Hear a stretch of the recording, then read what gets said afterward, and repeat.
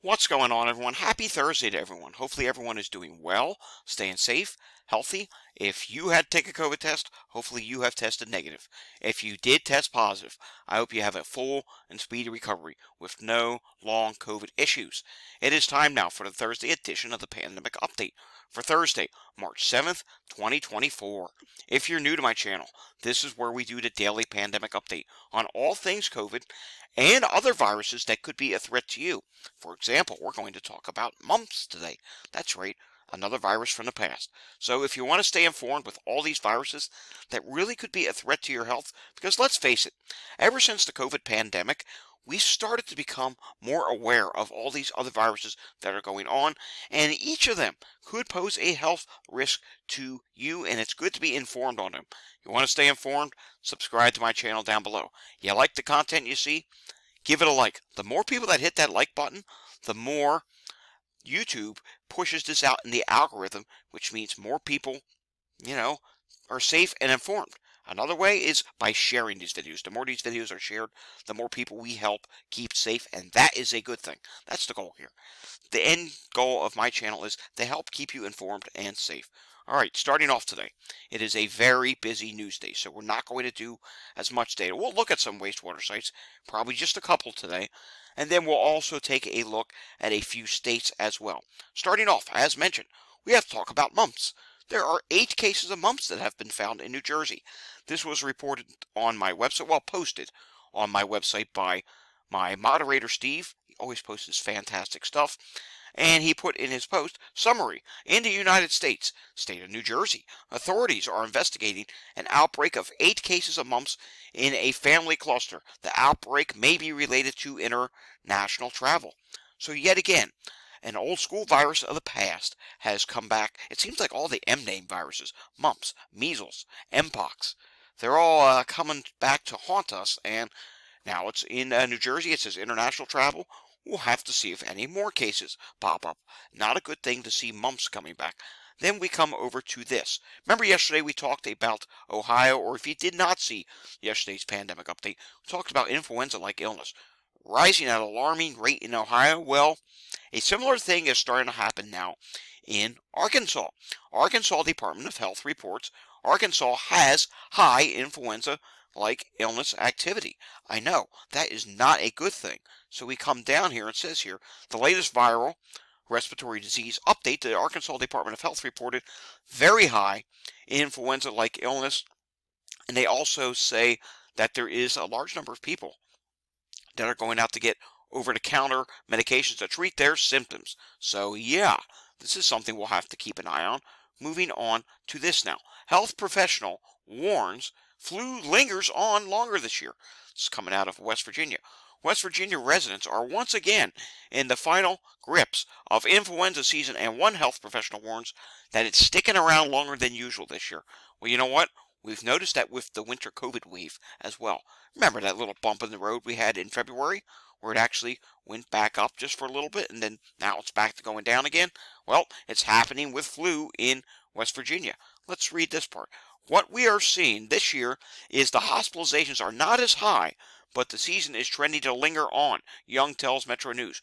We've had about 15 weeks where we should be starting to see a decline in influenza like illness. However, Young said the baseline in flu and respiratory illness case numbers across the state, remember, West Virginia, is continuing to hover around 4.18%, when by now it should be a baseline of 2.17%, as the peak flu season has already come to a close. Young said this is causing health professionals to see double the amount of cases than they typically do by this time of year.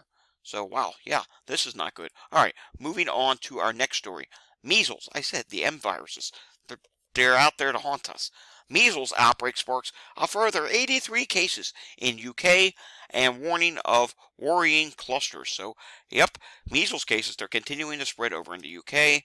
Then we come over to this, and it says two more cases of measles reported in Spokane County, Washington. I also did post this on my website. It's datareport.info, by the way. I should show you the website again. Datareport.info, and it's really a breadth of information. You can talk about U.S. general discussion for COVID, COVID treatments, COVID variants, support, long COVID, We got studies. We have all kinds of different stuff that are just posted on there. Like if I see a study out there that comes out, uh, more times than not, I add it to the website, which is free for anyone to sign up, and you can post anything you want to talk about in any of the various different categories on the site. Again, that is datareport.info. All right, going back now, where were we here? Okay, we talked about the measles cases, and now we have to take a look at this. Yes, long COVID, get this, long COVID could now be linked to longer and harsher hangovers. That's right. If you have long COVID, and say maybe uh, you have an evening where you have a bit to drink, alcohol, you have an alcoholic beverage, you have a little bit of it, and you have a hangover the next day. Well, new study is finding that, hey, those hangovers, they're a little bit more severe and harsh after having long COVID, or if you're have currently experiencing long COVID. So that's relatively interesting. And now we do have some sad news to pass away. Jim Beard, who was the keyboardist for Steely Dan, was 63 years old. He died from complications of a sudden illness. He joined the band back in 2008, and it says he died of a sudden illness up in a New York City hospital. We don't really know much more, other than that's what happened. He died up in the hospital. It's not saying if it's COVID. It's not saying what it is. Chances are we may find out down the line. For a lot of these, uh, several months later, we've been finding out the cause of death Hopefully we find out what this cause of death is. All right, taking a look at air qualities for today. Air qualities across the country, it's the usual suspects. A little bit worse today on the west coast. So actually a few more uh, sites that are reporting poor air quality than we saw yesterday. And again, where the wildfires are ongoing in Texas and now Oklahoma as well wherever those winds, see my hands, wherever those winds are positioning, whichever way they're coming out of, that's where the smoke is going to spread. So today it's Missouri, Kansas, Nebraska, Iowa, portions of Illinois. You're all dealing with some uh, air quality issues today. Even in Minnesota, look at this. Some uh, moderate is starting to pop up. Not bad on the East Coast today. We had the rainfall. That did cleanse the atmosphere, but next week southwest winds are coming in. So if these wildfires don't go away, air quality, though the weather's supposed to be nice in the east next week, uh, air quality could become an issue. Once again, I do have the other channel, Climate Data Report, where I talk about that, as you can see here. And we haven't done a video there in uh, several days. Eventually, I will get back to posting on there. I'm hoping next week we can get back to maybe at least a couple days a week. It's been crazy as of lately. Alrighty, taking a look here, Philadelphia yesterday, 757 EMS incidents. So that is, as you can see here, here's the day before. That is slightly higher than the day before. That's about 10 calls higher. Let's do a live look in with Montgomery County, Pennsylvania, which is a suburb of Philadelphia. And oh my, I'm seeing 18 calls right now. 10:26 a.m. Yikes, it's, it's a busy day in Montgomery County. I'm seeing respiratory emergency, stroke, cardiac arrest, syncopal episodes, multiple syncopal episodes, cardiac emergency, another respiratory emergency, another one, another cardiac, yikes, yeah, it's busy. Let's see, is it any better in Chester County? Mm, slightly, but there's calls there as well. Sick person, seizures, sick person. Yeah, there's a lot of calls. We had multiple heart problem calls. That's not always good to see. Let's take a look at the positivity rate from Walgreens. This is for COVID now. It is 13.9%. Last week was 17.4%. That's down 3.5%. Total tests, 2,595. The prior week was 3,071. All right, let's take a look at BioBot wastewater. I am going to refresh this. Let's take a look here and see if there was any update for this. Of course, they always try and spam us. And, wow, take a look at this. All right, interesting picture here. So, BioBot, it continues its drop, but when we come down region by region, Northeast is dropping really nicely. The West Coast is dropping really nicely. Uh, it slowed off a little bit in the South, but the Midwest, look at this. Midwest is kind of doing its own thing at BioBot. It's rising ever so slightly. Now, there's several different perspectives we can get. We can also get this perspective of Wastewater Scan. That's the one that I like to use. And today on Wastewater Scan, we're going to take a look at just a couple wastewater sites. And that first one's going to be Chattanooga that I have pulled up here. And Chattanooga, Tennessee. The wastewater site itself serves 400,000 people. So this is a pretty good sample size. We can see COVID is dropping at this time. RSV continues to drop. Influenza A is high but dropping, flattened out slightly. Influenza B is starting to rise at this time. And look at norovirus. starting to see a rise in norovirus once again.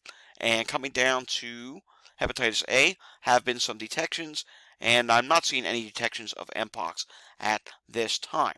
All right, let's go northward a bit, shall we? How about we come up to Detroit area? Warren, Michigan. It's just north of Detroit. It's a pretty big sized wastewater site. 140,000 population. COVID, it's rising ever so slightly. RSV, eh, slight rise on the most recent update. Influenza A is dropping. Influenza B has been rising steadily and now picking up the pace ever since, well, back in January. So it's actually picked up the pace there. Norovirus, really high at this time for norovirus levels. Leveled off slightly. Hopefully it will start dropping soon. There is some detections of hepatitis A back in February. No detections of Mpox at this time. And you know what? Let's do another wastewater site because I'm feeling nice today. Let's, how about, let's see, where do we want to go? Pick somewhere. How about we go over to Ohio? Remember yesterday we showed Ohio? Let's go to Youngstown, Ohio. See what's going uh, on there. Because remember yesterday we showed what was going on with the influenza-like illness in that story. All right, COVID at this time is flat. RSV is dropping. Influenza A is dropping. Influenza B, look at this. It is pretty much uh, going vertical. It's rapidly rising. A little bit of a bouncing around the most recent update, but February it rose most of the month. Norovirus, that is also rising as well. No Mpox detections, and you have to go all the way back to February to find the most recent detections of hepatitis A. So none for March so far. All right, continuing on. You can see here on the CDC site, wastewater is highest in the southeast. However, it is very high in Kansas still, and it's also high in Utah. And look at Delaware. Delaware is still at very high levels as well. Continuing on, let's come over to this map now. Flu, it's still growing in some places. Growing or likely growing from Virginia, North Carolina, West Virginia, Ohio, Illinois, Arkansas, Missouri, Iowa, South Dakota, Nebraska, even in Idaho and Washington. And when we look real closely here, take a look at this. Connecticut and Rhode Island, likely growing as well. Now, when you come up to COVID, it's just Idaho. That's still rising. All right, let's take a look now at the latest update for variants. JN.1, it dominated. It it really, you, can, you look back here, JN.1 rose really quickly, but now it's leveled off. And now it's actually dropped ever so slightly. It's at 92.3%. Why did it drop? Well, you have JN 1.13 at 3.3% and JN 1.18 at 1.8%. And when we take a look at those variants, you can see here that they really came up quickly. Look at the JN 1.13. You can see it here on the charts. When I have it highlighted, you can see it entered the picture quickly. We'll get another variant update again next Friday. Not tomorrow, but next Friday. I want to see if that actually doubles. And if it does, that would be rather concerning. All right, let's take a look at some of the stuff we daily look at. Hospitalizations in New Jersey, 520. And let me zoom this chart in a little bit. You can see, like I was saying yesterday, they're not dropping. It's, I mean, they're dropping a little bit now, but overall, since about mid-February, the drop has really slowed down. 26 people on a ventilator. In the ICU, 69, and discharges. They did have 90 discharges today. Let's see if New York State updated yet. I don't think they did, but they may have. And taking a look here, all right, we do have a number from New York State. 1,557 new cases. That is a pretty decent size.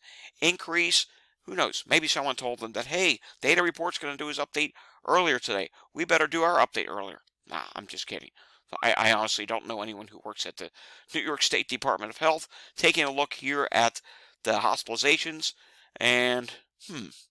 So hospitalizations yesterday, they were below uh, 1,000. Hang on here. We have to actually refresh this again because I think something went wrong here. Nope. Looks like their hospitalizations went back in time for some reason. We're refreshing this, and it says data as of 2-28, 2024. How about we go back to this page as well? Uh, what's the data here? Yeah, 2-26, 2024. So these cases here, that's not up to date. I don't know what's going on here. Alrighty, so forget about anything I just told you about New York State. Their data is a little bit outdated. Maybe that'll get corrected later in the day. I hope we'll have a different number, a more accurate number out of New York State again tomorrow. All right, in closing today, we have to go to Colorado, and something strange is going on in Colorado. Look at this. Last week, the hospitalizations were 118. This week, 128. Yeah, that's a little puzzling because, look at this, cases are down by 268. That's a decent drop.